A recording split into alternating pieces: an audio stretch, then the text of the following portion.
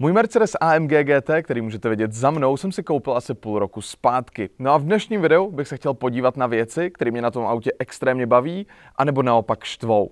Zároveň si povíme o modifikacích a o plánech do budoucna. Jdeme na to. Zároveň bych chtěl na začátek poděkovat sponzorovi dnešního videa, kterým je Car Vertical. Car Vertical je služba, díky které se nemusíte nechat napálit při koupi ojetého auta.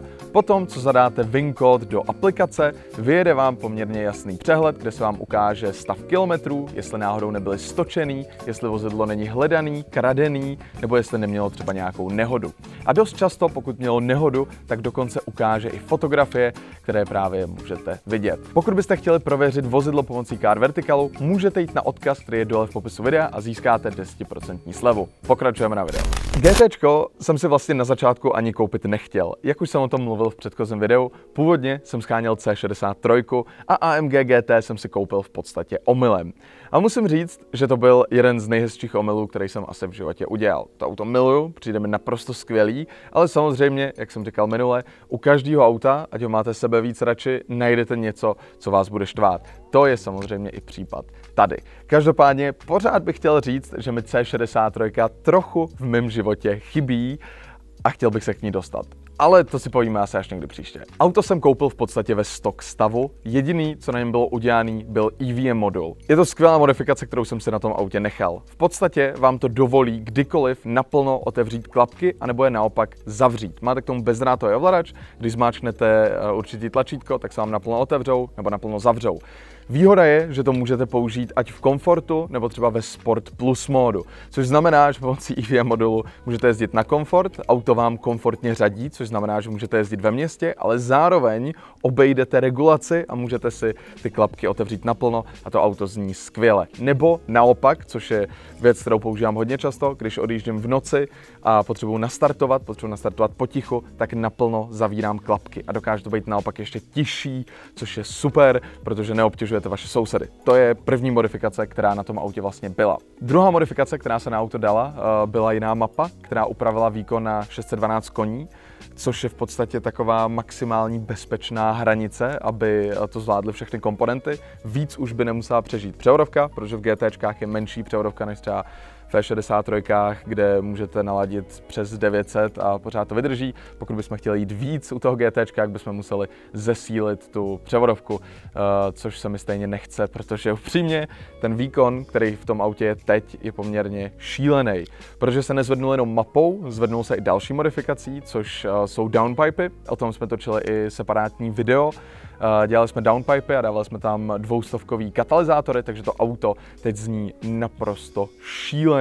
Je extrémně hlasitý, zní to jako Zní to příšerně dobře. Já ten zvuk naprosto miluju, je to absolutně úžasný, ale pořád to dokáže být extrémně použitelný auto, když to přepnete do tichého módu přes ten EVM modul, což pro mě bylo důležitý, protože mám rád, když to auto dokáže být hloupě hlasitý, ale zároveň tím nechcete otravovat sebe nebo vaše okolí. Prostě musíte vědět, kdy to můžete zapnout a kdy to naopak zapnout nemůžete. Další modifikace, která se na tom autě dělala, je vlastně jenom vizuální a to uh, folie. Dávali jsme tam Midnight Purple od Inozeteku, na video se o tom vlastně taky můžete podívat. Zároveň jsme dělali kompletní dichrom auta, protože mám hrozně rád, když na tom autě nejsou žádný chromové prvky, takže jsme zatmalovali znak, uh, vlastně zadní bedže, masku, aby to vypadalo celý krásně fialovo-černý. To jsou asi všechny modifikace, které jsem na tom autě zatím udělal, eh, který mě na tom baví. A možná vás zajímá, jaký jsou v plánu další a jestli vůbec v plánu nějaký jsou. U výkonnostních modifikací a zvukových modifikací jsem skončil. To auto je naprosto hlasitý, jako až moc v některých chvílích.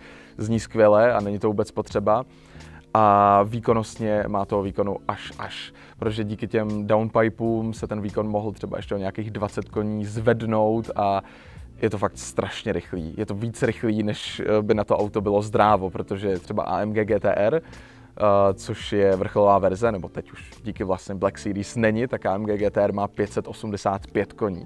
Tohle má teď něco přes 612.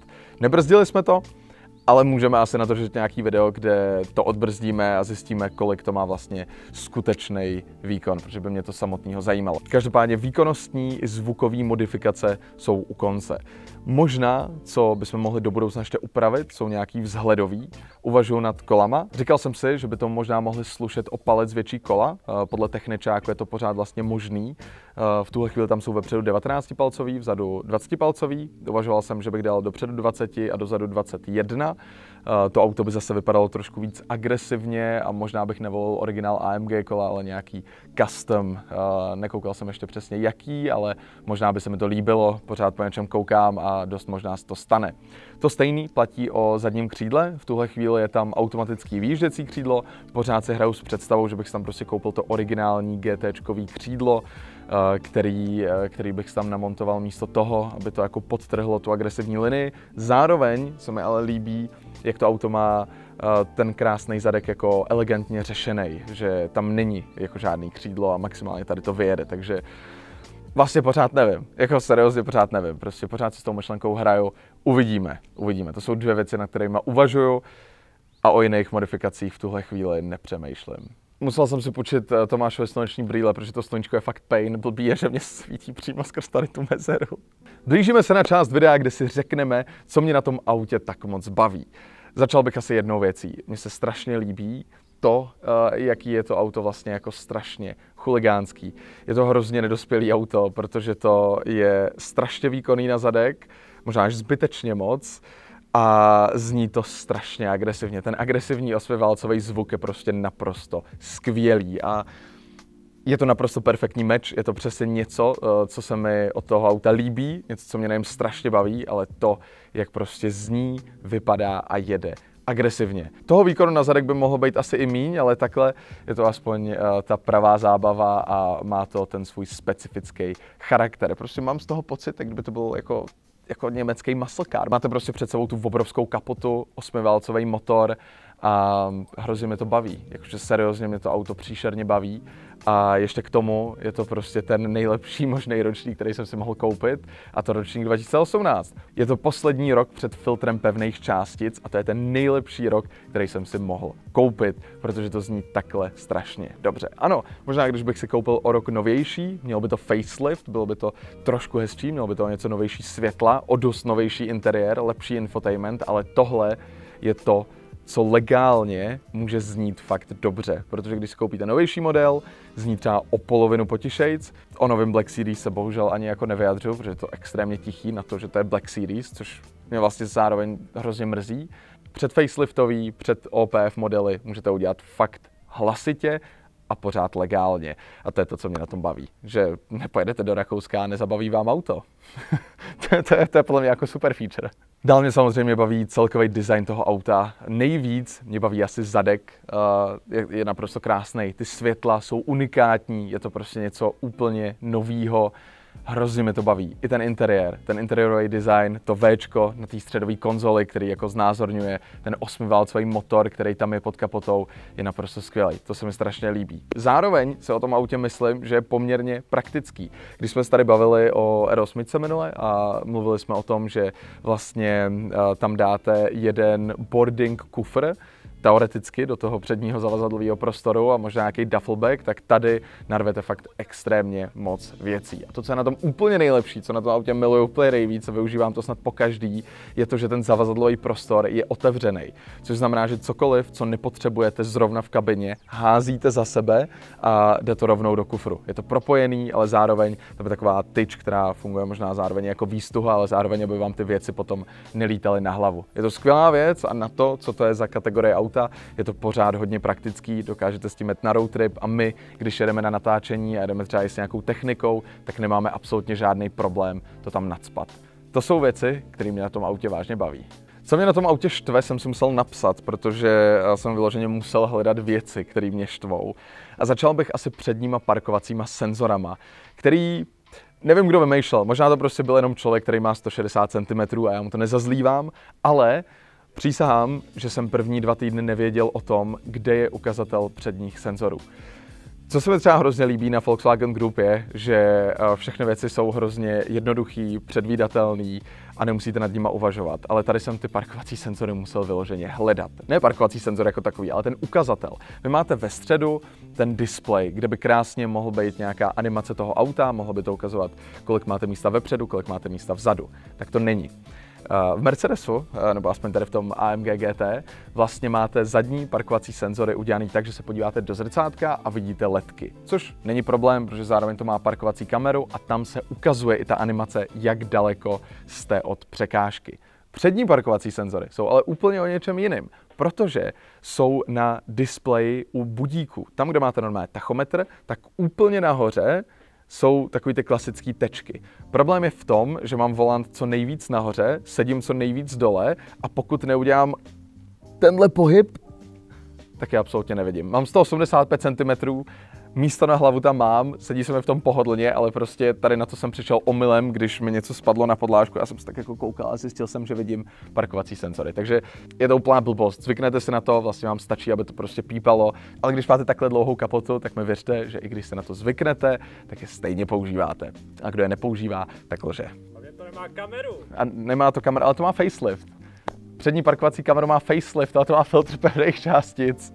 To nechceme. K tomu se vlastně dostáváme ke staršímu infotainmentu, který nemá Apple CarPlay, nemá kameru a nemá tyhle věci, ale dostáváme se pořád do toho stejného bodu. Buď můžete obětovat uh, komfort, jako v úvozovkách, nějaký jako komfortní vychytávky technologický, a nemít filtr pevných částic a tím pádem mít lepší zvuk a lepší požitek z jízdy, a nebo obětujete to, že budete mít filtr pevných částic, ale budete mít o dost hezčí interiér. To prostě se musí říct, ten facelift má fakt o dost hezčí interiér, hezčí volant, hezčí infotainment, funkčnější infotainment, ale to už je na každém. To už je jako každý si musí říct, co z toho chce. Mě na tomhle autě fakt moc věcí neštve, takže jako to nebude dlouhý seznam. Každopádně poslední věc, eh, která je fakt otravná, hlavně pokud s tím autem jezdíte víc i na daily, na normální používání, je absence zadního tlačítka kufru.